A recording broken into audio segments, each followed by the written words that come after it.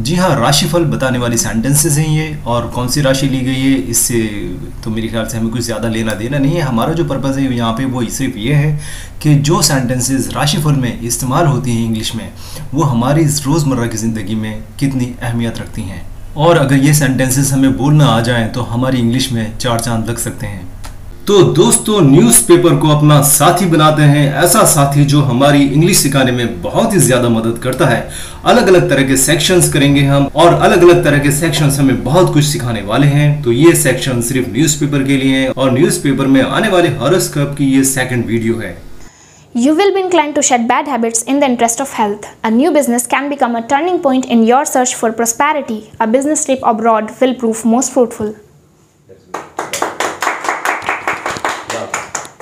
So guys let's begin with sentence number one sentence number one है you will be inclined to shed bad habits in the interest of health so translation हो जाता है सेहत की खातिर। आप बुरी आदतों को छोड़ने के लिए माइल या फिर इच्छुक कह सकते हैं इच्छुक होंगे। सो so, दोस्तों सबसे पहले आपको यह करना है कि इसका ट्रांसलेशन अपने दिमाग में रखें और जैसे ये ट्रांसलेशन आपके दिमाग में रह जाता है तो इंग्लिश भी पीछे पीछे चल के आने लग जाएगी। सो so, दोस्तों इसी तरह से आप ये सेंटेंस तीन, चार बार, पाँच बार दोहरा लें लाउडली बोल बोल कर जिससे कि आपकी स्पीकिंग में भी इंप्रूवमेंट आएगा। You will be inclined to shed bad habits in the interest of health you will be inclined to shed bad habits in the interest of health इस तरह से आप बोलते रहें और ये सेंटेंसेस आपके दिमाग में बैठ जाएँगी। और जब आपको ऐसा लगेगा कि सेंटेंसेस मैं बिना देखे बोल पा रहा हूँ तो उसका ट्रांसलेशन भी आपके दिमाग में खुद ब खुद आने लग जाएगा। उसके लिए आपको कोई खास मेहनत नहीं करनी पड़ेगी। बस एक बार इंग्लिश में बोल लें और एक बार हिंदी में बोल लें। फिर एक बार इंग्लिश में बोल लें और एक बार हिंदी में बोल लें। अच्छा बोलते वक्त हमें यह मान लेना है कि ये बात हम सामने वाले किसी बंदे से कह रहे हैं। राइट तो कल्पना कर लें कि सामने आप किसी से बात कह रहे हैं और उसी अंदाज में कहेंगे। इशारा करते हैं बल्कि उसकी तरफ़।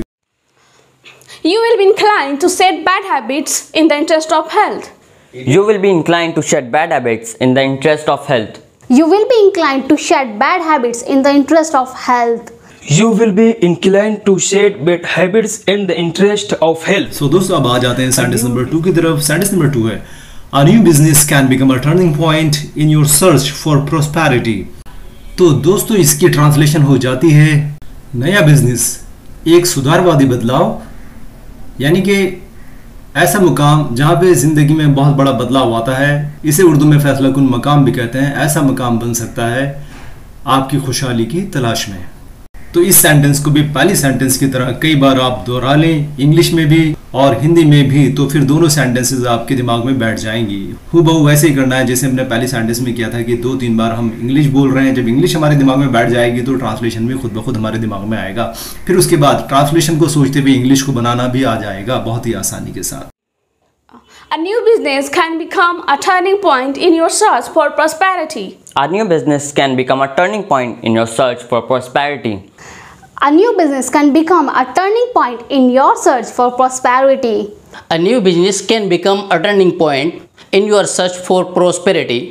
और अगली सेंटेंस है a business trip abroad will prove most fruitful अपने देश से दूर बिज़नेस का सफ़र सबसे ज़्यादा फलदायी साबित होगा अब्रोड मीन्स अपने देश से बाहर या फिर दूर दराज। दूर दराज का सफ़र भी ऐसे भी मीनिंग निकाल सकते हैं आप। सो so, दोस्तों सेंटेंस वाकई में बहुत ज़्यादा इजी है। तीन चार बार दोहराने पे आपके दिमाग में पूरी सेंटेंसेस बैठ जाएँगी और जो भी मुश्किल वर्ड्स हैं वो सारे आपके दिमाग में बैठ जाएँगे हमेशा के लिए।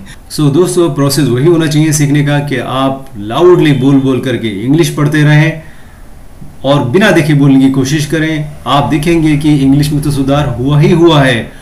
आपका ट्रांसलेशन भी बहुत ज़्यादा मज़बूत हो जाएगा और यही सेंटेंसेस आपकी बाहर की ज़िंदगी में सहायता करने वाली हैं जब आप बाहर इंग्लिश बोलेंगे तो यही सेंटेंसेस आपके मुँह से इसी तरह से निकलने लग जाएँगी A business trip abroad will prove most fruitful. A business trip abroad will prove most fruitful. A business trip abroad will prove most fruitful.